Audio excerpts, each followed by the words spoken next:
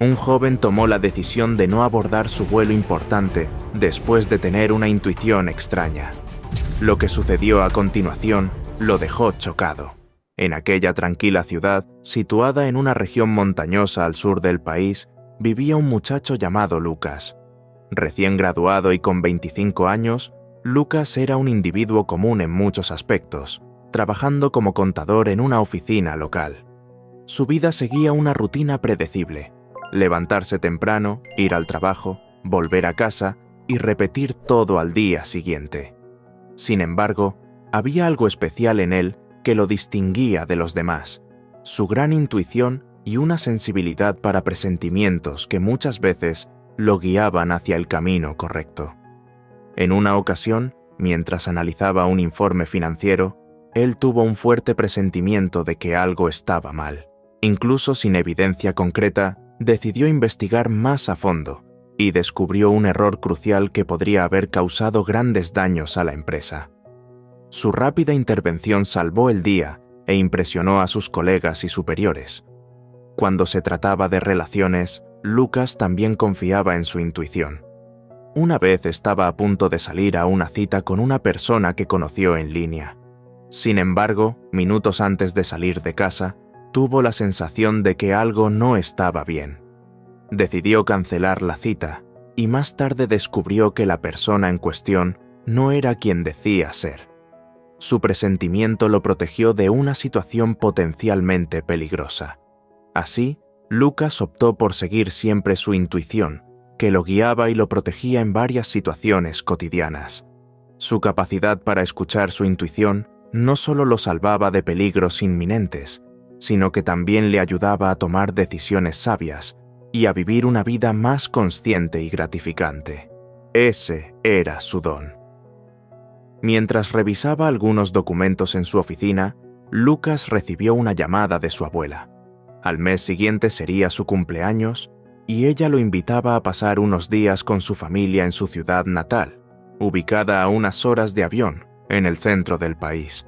Lucas quedó encantado con la idea de ver a sus tíos y primos, e inmediatamente comenzó a planear su viaje. Después de pedir vacaciones de trabajo, reservó un vuelo y se animó por los días que iba a reunirse con sus familiares. Ya que él estaría fuera por cerca de dos semanas, necesitaba adelantar el servicio en la empresa. Trabajaba incansablemente haciendo horas extras para que no quedara nada pendiente en la oficina. Pero en la víspera del viaje, algo extraño sucedió. Mientras dormía, él tuvo un sueño vívido, donde se veía sentado en un avión que caía del cielo en llamas. El sueño lo dejó agitado y ansioso, y él despertó sudando y con el corazón acelerado. A la mañana siguiente, mientras desayunaba antes de salir para el aeropuerto, él contó el sueño a su madre que a pesar de preocupada, intentó tranquilizarlo diciendo que era solo un sueño tonto y que no significaba nada. Viaja tranquilo, hijo mío, tu fe te salvará, porque Dios siempre te protege. ¿Recuerdas cuántos inconvenientes te ha librado? No dejes que un sueño tonto se interponga en tu camino, dijo su madre. A pesar del sueño perturbador, Lucas intentó ignorar el presentimiento y seguir adelante con sus planes. Con la ayuda de su madre, se convenció de que era solo una coincidencia y que no había razón para preocuparse. Sin embargo, mientras estaba de camino al aeropuerto, una sensación de inquietud lo acompañó. Al llegar allí, se dio cuenta de que su vuelo se había retrasado. Se quedó sentado, esperando y reflexionando si había tomado la decisión correcta de viajar. Poco a poco, sintió una molestia creciente en su pecho, como si algo quisiera llevarle lejos de allí. Lucas cerró los ojos y pidió ayuda a Dios. Oró con la esperanza de obtener una señal sobre qué decisión tomar. Fue entonces cuando oyó una voz suave en su mente, susurrando para que no tomara a ese avión. Lucas quedó paralizado de sorpresa. No podía entender de dónde venía esa voz, pero sabía que era real. Era como si una fuerza invisible estuviera intentando protegerlo, alertando de un peligro inminente. Recordó lo que su madre le dijo. Tu fe te protegerá, cariño. Aún sin comprender completamente, Lucas decidió seguir su intuición y desistir del vuelo. Era una decisión difícil, ya que su boleto promocional no era reembolsable, y eso significaba que tendría que comprar otro boleto más caro de última hora o dejar de viajar. Pero él sabía que en situaciones de emergencia, el valor de los objetos materiales rápidamente se disuelve ante la prioridad de preservar la vida humana. La posesión de bienes materiales puede ser reemplazada, pero la pérdida de una vida es irreparable. Desprenderse de los bienes materiales y priorizar la seguridad y la vida demuestra una comprensión profunda del verdadero sentido de la existencia humana. Este desapego capacitaba a Lucas a actuar con sabiduría en situaciones de crisis, respetando su intuición y valorando lo que realmente importa. Mientras observaba el avión despegar sin él, el joven sintió una mezcla de miedo y alivio. No sabía lo que le esperaba, pero estaba determinado a confiar en su intuición, por inexplicable que fuera. Se acordó de su fe en Dios y comenzó a orar silenciosamente, pidiendo protección no solo para sí mismo, sino también para todos a bordo del vuelo que acababa de dejar atrás. Decidió que no abandonaría el viaje, a pesar de que había abandonado el vuelo, así que compró otro boleto para tomar el vuelo enseguida. Mientras esperaba en el aeropuerto, presenció a unos pasajeros que se retrasaron y se enojaron mucho por no poder abordar. Era una familia compuesta por padre, madre y dos hijos, que planearon un emocionante viaje de vacaciones. Animados, se prepararon meticulosamente para el vuelo que los llevaría a un destino paradisíaco. Sin embargo, debido a una serie de imprevistos en la mañana de la salida, terminaron retrasados para ir al aeropuerto. Por más que intentaran apresurarse, ya era demasiado tarde cuando llegaron a la puerta de embarque. Decepcionados, se resignaron al hecho de haber perdido el vuelo.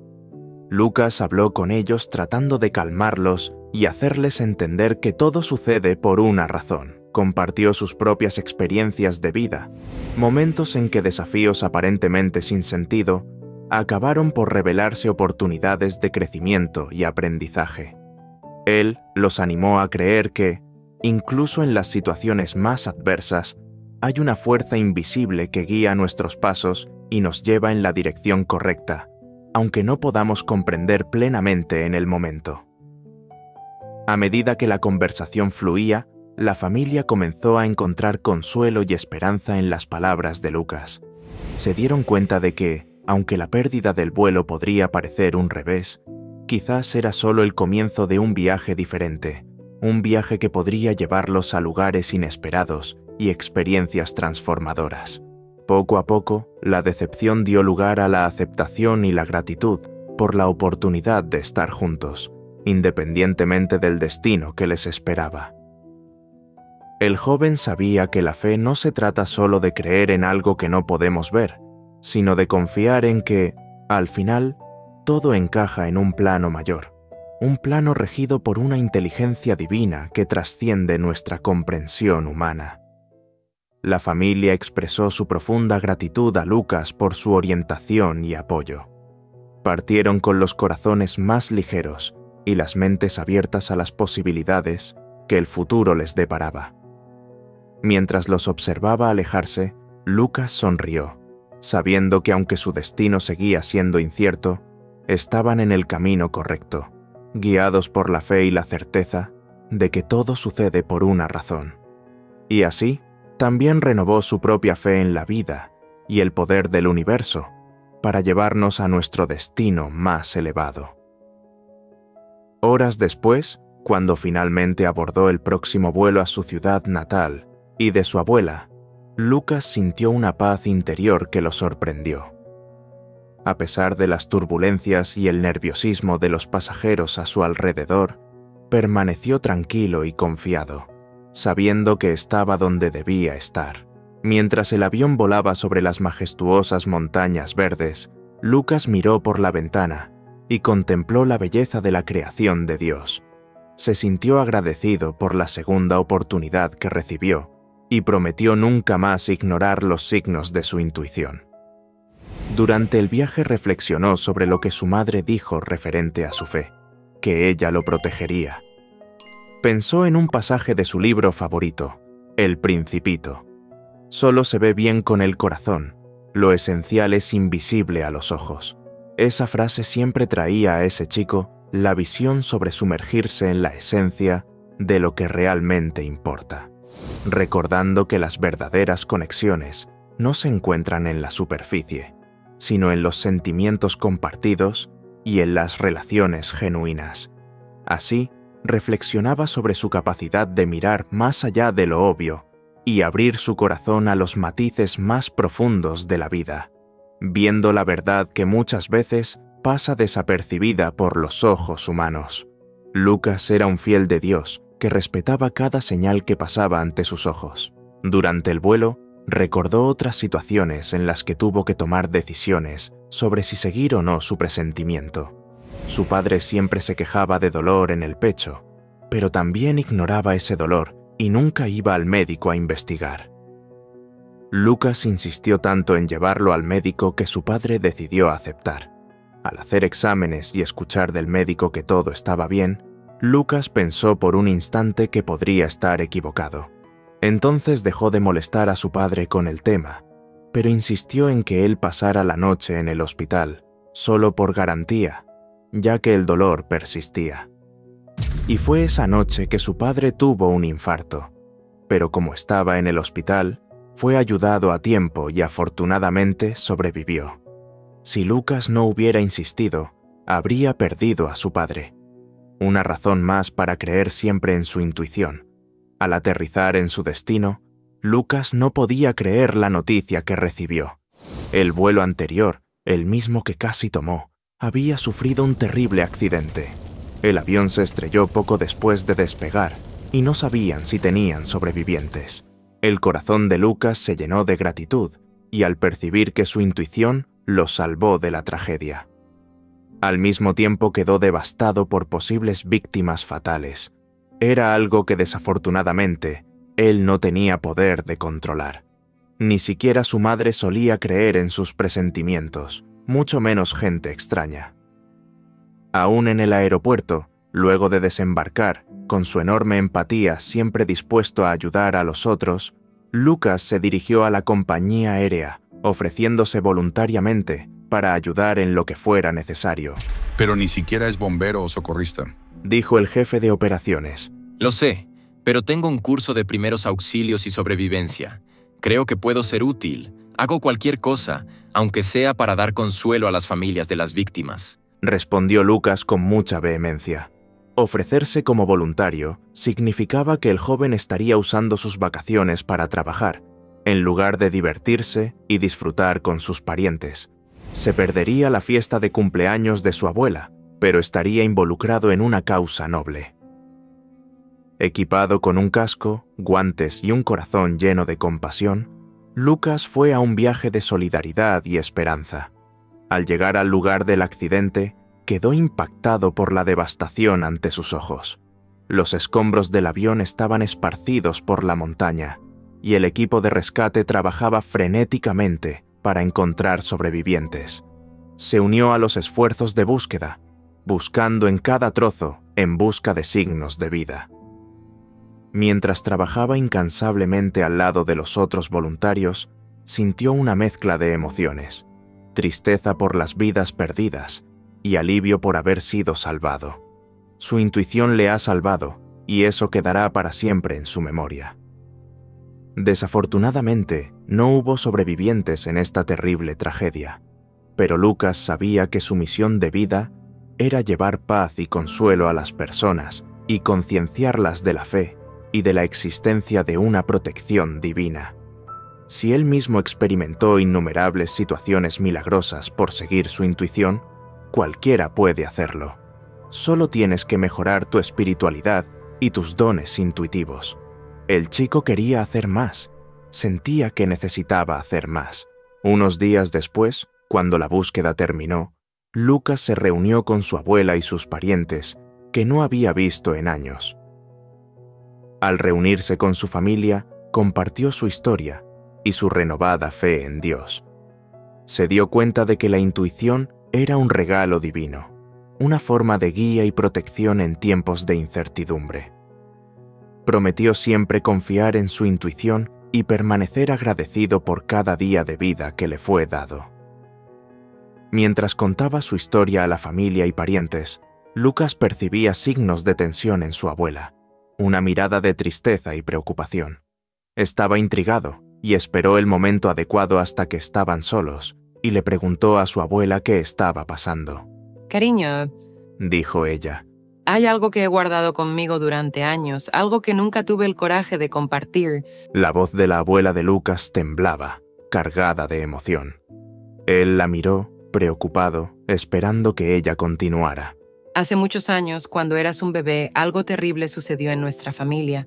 Hubo un robo en nuestra antigua oficina de contabilidad. Tu abuelo y yo éramos los dueños de ese lugar. Desafortunadamente, no hubo sobrevivientes en aquella terrible tragedia. Las palabras de la abuela de Lucas hicieron eco en la sala, trayendo a la luz recuerdos oscuros que había guardado durante tanto tiempo. Lucas sintió un nudo, formándose en su garganta, al oír aquellas palabras. Nunca había imaginado que su propia familia había sido víctima de un evento tan trágico. Su abuela continuó con lágrimas en los ojos. Durante el robo, su abuelo actuó con valor para proteger a los empleados e intentó desarmar a uno de los asaltantes. Desafortunadamente, le dispararon y no resistió las heridas. Durante los tres días previos a esta tragedia, tuve el mismo sueño en el que los ladrones nos asaltaban y nos mataban, pero tu abuelo no creía en los presentimientos y no me tomaba en serio. En aquella época, yo era muy tonta y no creía en mis intuiciones. Desde entonces he vivido con el peso de esta pérdida y la culpa por no haber sido capaz de protegerlo, porque de alguna manera sabía que algo malo iba a pasar. Tú has heredado este don de mí y la diferencia es que tú confías en tu sexto sentido, entendiendo que es una bendición divina que sirve de protección. Estaré eternamente agradecida de que no hayas tomado ese avión, porque no podría soportar perderte, ya que soy la razón de tu viaje aquí El joven quedó aturdido por la revelación. Él nunca supo de la existencia de ese evento en la vida de su familia. Solo sabía que su abuelo había fallecido cuando su madre era joven y que nadie hablaba de ese tema. El peso de la tragedia cayó sobre él, pero al mismo tiempo una sensación de comprensión y conexión surgió en su corazón. Abuela, siento todo lo que has pasado, pero ahora más que nunca entiendo la importancia de seguir mi intuición y creer en la protección divina. Sé que el abuelo nos está cuidando desde el cielo y prometo hacer todo lo que esté en mi poder para traer consuelo y paz a nuestra familia. No te preocupes, no me perderás y viviré mi vida con propósito y significado, honrando ese don que recibí. Lucas decidió que necesitaba tomar una decisión importante, y así fue. Podría continuar su tranquila vida, trabajar en la oficina y llevar una vida de manera predecible, o podría hacer algo más grande. Quería ser parte de algo más grande. Sentía que era su misión. Tenía todo el apoyo de su abuela, y por eso decidió regresar a su ciudad, conversar con su madre e ingresar en una carrera que le diera más sentido. ¿Sería medicina? ¿Psicología? Quizás profesor. Nada le tocaba, hasta que otro sueño le indicó el camino. Él sería bombero. Usaría su don para ayudar a salvar a personas en peligro. El joven tomó una decisión que cambió su destino y así, con una nueva apreciación por la vida y la fe, Lucas continuó su viaje, sabiendo que Dios estaba siempre a su lado, guiándolo y protegiéndolo a cada paso del camino. A pesar de los desafíos que estaban por venir, él tenía esperanza en un futuro brillante, donde la intuición y la fe siempre lo llevarían a un final feliz. Y si te ha gustado esta historia, seguro que el próximo video que aparezca en tu pantalla también te emocionará. No se olvide de suscribirse al canal, dejar el me gusta y activar las notificaciones para no perder ninguno de nuestros próximos vídeos. Un gran beso y hasta la próxima historia emocionante.